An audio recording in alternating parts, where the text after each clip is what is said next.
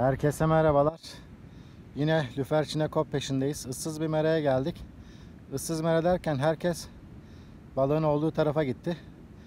Biz kalabalıktan kaçalım biraz sakince balık avlayalım diye insanların olmadığı yeri tercih ettik.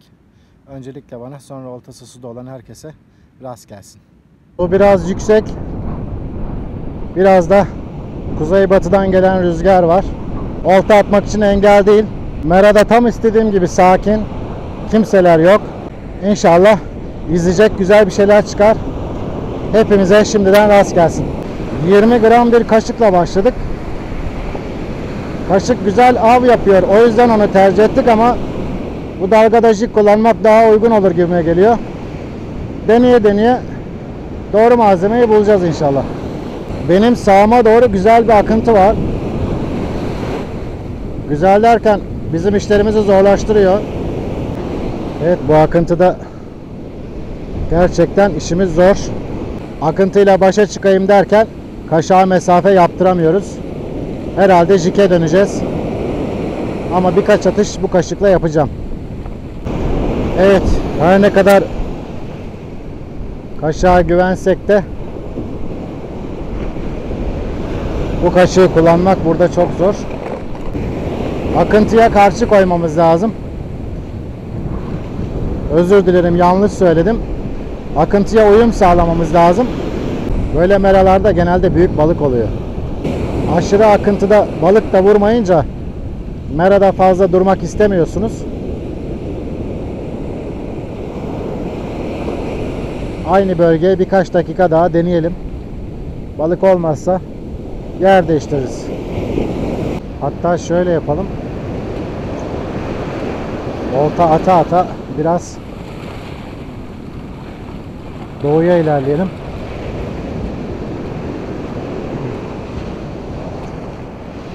Hem daha uzun atışlar yaparız.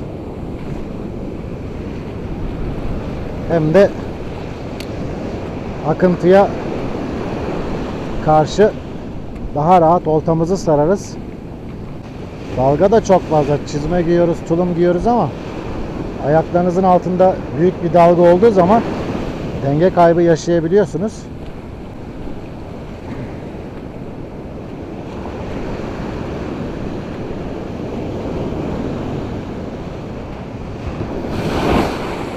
İşte bir tane daha geldi mesela. Aslında çok güzel balıkların olabileceği bir su. Güzel balıktan kastımız nedir? İşte kaba lüferdir, levrektir. Sevdiği sular bahsettiğim balıkları avladığım sulara benziyor. Şu an sahte tercihleri balığın sevdiği türden ziyade meraya uyum sağlayacak sahteleri tercih etmeye çalışıyoruz. Biz en iyisi buradan gidelim. Son bir atış yapalım öyle gidelim. Olmuyor. Zor. Yer değiştirmek zorunda kaldık. Yer değiştirmek zorunda kaldık. Ee, burada su güzel görünüyor. Rüzgar da çok fazla değil. Windy'ye baktığımız zaman da ilerleyen saatlerde dalganın düşeceği söyleniyor. Özür dilerim. Rüzgarın biraz daha azalacağı söyleniyor. Deneyelim bakalım nasibimizde ne varmış. Dün bu meradan sayısız derecede yaprak aldım. Yapraklar, çinekoplar. Tabi hepsini salmak zorunda kaldım. Bugün bunun bir çaresini buldum. Bir tane metre getirdim. Basit, pratik. Sizler de yapabilirsiniz. Metre yer kaplamayacak kadar küçük. Nerede? İşte bakın balık kovamın, balık çantamın hemen yanına astım. Ölçeceğiz balıkları bunlar. Tabi balığı ölçmemiz için önce ne yapmamız lazım? Balığı tutmamız lazım. Balığı yakalamamız lazım. Buradan gelen bilgi burada da akıntı olduğu yönünde. Arkadaşımı aradığım zaman öyle söyledi bana. Mera'nın yaklaşık 250-300 metre solunda arkadaşım var. O da orada olta atıyor. Şu an attığım kaşık güzel bir kaşık. Yani böyle kaşığı attıktan sonra dümdüz sarmanız yetiyor. Çok iyi aksiyonu var. Hatta dün denedik bu kaşığı. 4 kişi olta atıyorduk. Kaşık diğerlerinden biraz daha fazla öne çıktı. Şimdi kaşığın adını söylesem de videonun açıklama kısmına yazsam da yorum bölümünde bir sürü insan kaşığı soruyor. Ben de şimdi söylemeyeceğim. Yorum bölümünde sormanızı bekleyeceğim.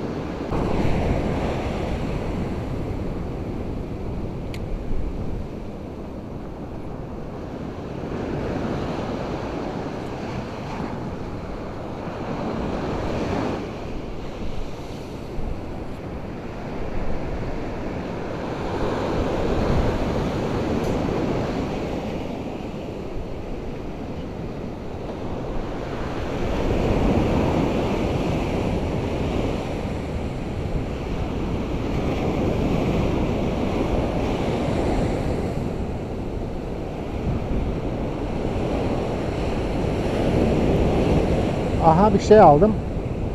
Evet. Evet, evet, evet, evet. Evet, geldi balık. Evet, geldi, geldi, geldi, geldi. Evet, aldık. Şimdi balığımızı ölçelim. Balığımızı ölçelim. Evet, balık 20 santimi geçmiş.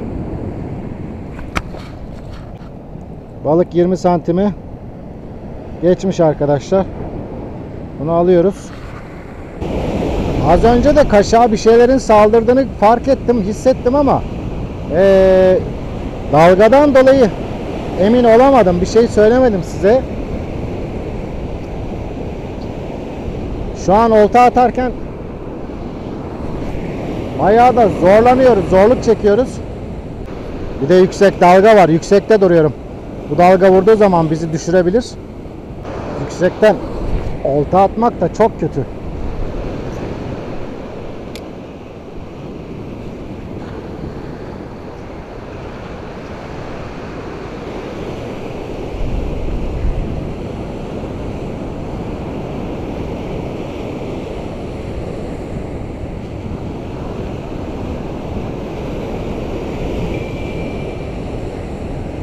Evet, evet, evet geldi, geldi, geldi.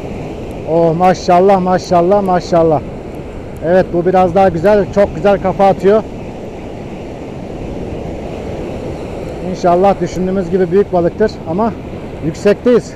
Yani balıkları almak problem. Haha aldık.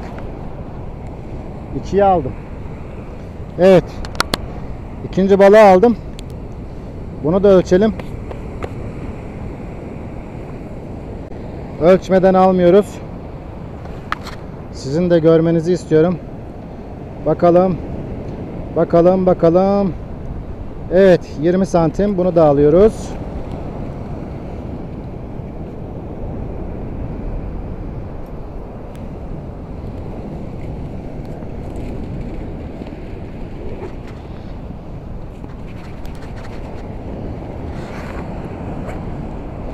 Arkadaşlara bir anons daha geçelim. Şu an çok kötü bir noktada olta atıyoruz. İşte balığı yakalayıp kıyıya almak çok iğrenç. Az önce de gördünüz. Bir de dalga da var ya. Balığın çok büyük olduğunu zannediyorsunuz gelirken.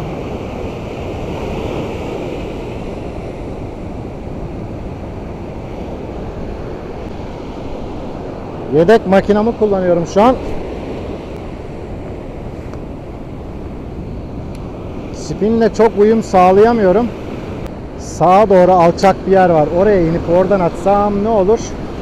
Hem yüksek dalgalardan korunurum hem akıntıya doğru daha rahat atış yaparım. Ben en iyisi oraya gideyim. Aleyküm selam. Şey yok. İki tane aldım peş peşe. Hüsamettin. Büyük dalga vurur, sıkıştırır seni. Gel bu tarafa gel, bu tarafa gel. Akıntıya rüzgar da eşlik ediyor. Her şey biraz daha zor. Ama uzun kaşıkları aksiyon vermiyor. Yavaş sarıyorsun işte. Burası derin. Burada herhalde balıklar toplandı. Sollu atıp yavaşça sarıyoruz işte. Başka bir şey değil. Evet bitti. Ah kaçırdım. Kaçırdım. Kaçırdım. Kaçırdım. Biz mesafe yapmak adına bir şeyler deneyelim.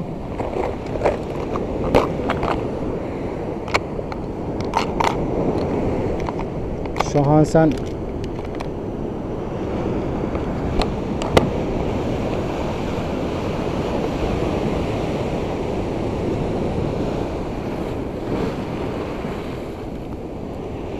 ...30 gram jig atacağım. Balık açıkta biraz çaresiz kalıyoruz. Mera biraz zor o yüzden... ...attığım malzemenin... ...kendi aksiyonu olsun istiyorum ki... daha rahat hareket edelim. Maalesef bu sahteye de vurmadı. Yeniden Hansen Lotus'a döndük. Bu kaşık haricinde hiçbirine verim alamadık çünkü. Belki de balıklar buradan uzaklaştı ama balık biraz açıkta sanki çünkü bayağıdır vurmuyor. Şöyle biraz mesafe yapalım bakalım. Balık burada değil. Ya o tarafa gidiyor ya o tarafa gidiyor. Evet. Balık aramaya devam ediyoruz. Ercan da geldi. Ercan Kahyoğlu. Pek çoğunuz tanırsınız. Çok iyi bir balıkçıdır. Bir o kadar da saygın bir insandır. Burada balık varsa alacak olanlardan biri de odur. Yaklaşalım. Akıntıya çare bulamıyoruz. Zorlaştırıyor.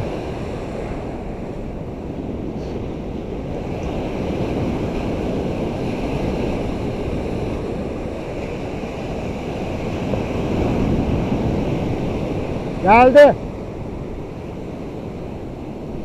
Evet bir tane geldi.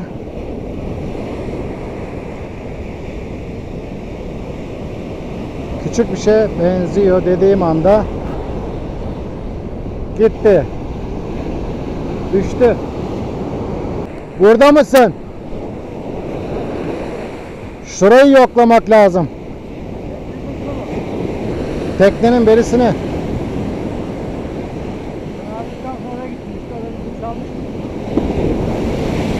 Sen- Ben orayı deneyeyim sen burada kal ya da sen burada kal ben orayı deneyeyim. Balığı bulmamız lazım. Aynı yerde atıyoruz şey değil.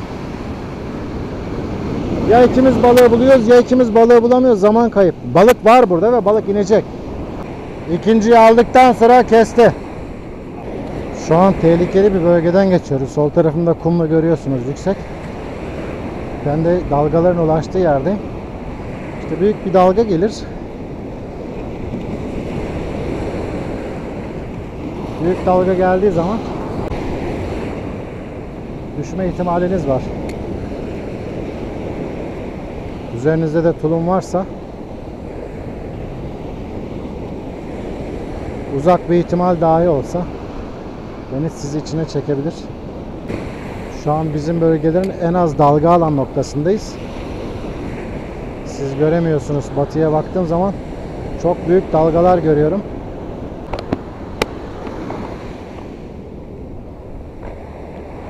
Aldım bir şeyler. İki tane çinekop. Dün çok kıyıdaydı balık saatlerce. Akşama kadar kıyıdaydı burada. Şimdi yok.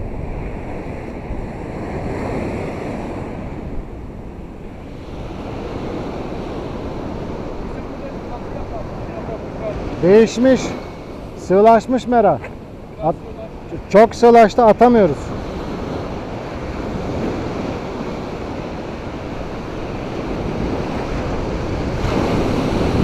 Bir de kıyı çok bulanık şimdi.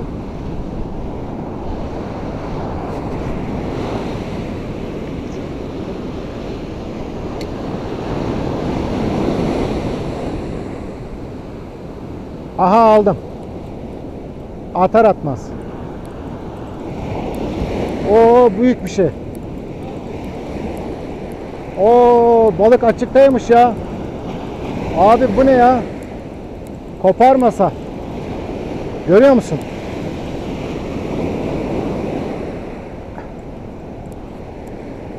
Sen ne şanslısın ya. Abicim bu balık kaçmasın. Eyvah. Eyvah eyvah. Hap. Kaçmaması lazım abi.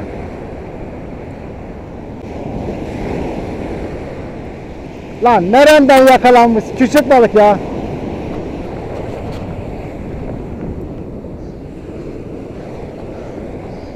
Eh.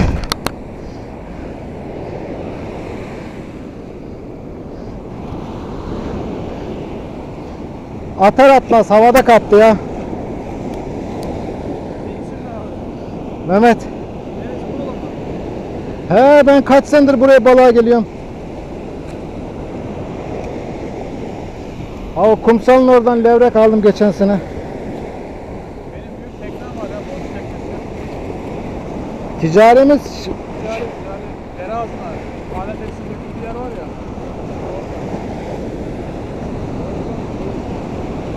havada kaptı desem yalan olmaz. Dedim büyük bir şey geliyor. Makine küçük anasını satayım. Hemen. Söyle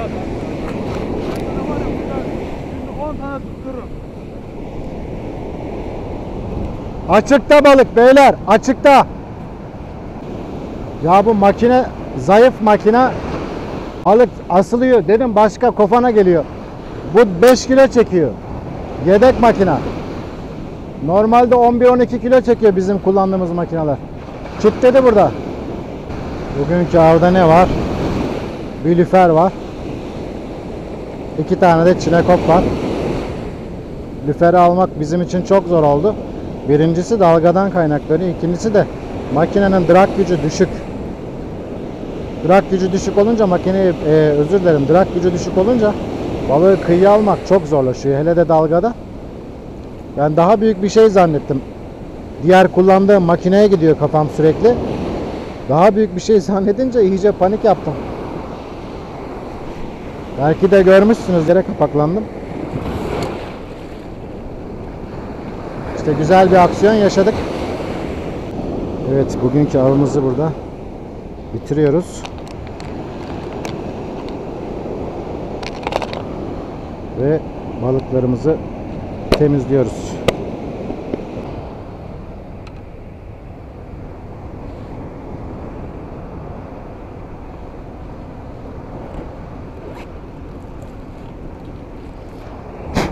Tuttuğumuz lüferin boyunu da ölçelim.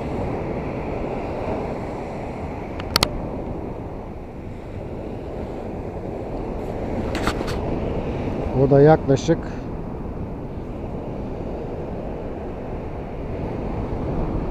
bir 30 santim var. Şimdi temizleyelim. Lüferi ben böyle temizliyorum. Pullarını aldıktan sonra karın bölgesini yarıyoruz.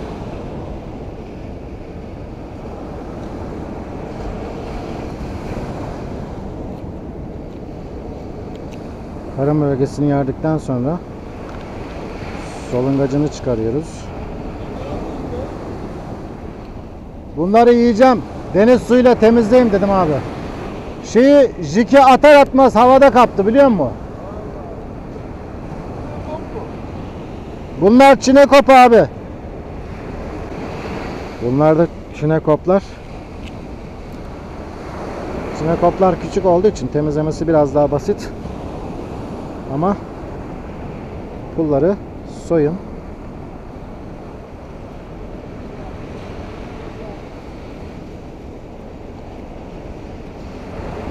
Neden bunları burada temizliyoruz? Çünkü deniz suyuyla temizlenmiş balığın lezzeti bambaşka olur. Bu da aklınızda kalsın.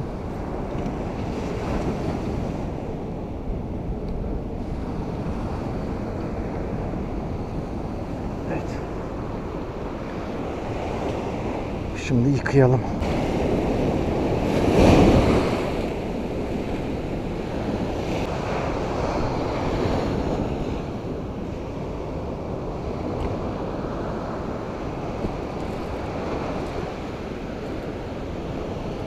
Ya aldım da abi. Bu yedek makine dira çekişi düşük. Dedim büyük bir şey geliyor. Yattım ha burada kumlara. Vallahi billahi. Kaç dakikada çektin onu sen ya? Ha bir de bakıyorsun, asıldı makine gelmiyor. Sarıyorsun, sarıyorsun, sarıyorsun. Vallahi billahi yattım kumlara ya. Sonra dedim bu lüfer kuyruğundan bir yerinden yakalandı balığı gördüm öyle. Evet bir avı daha tamamladık. Ee, keyifli bir hava oldu diyemeyeceğim. Keyifsizdi, akıntı vardı, dalga vardı.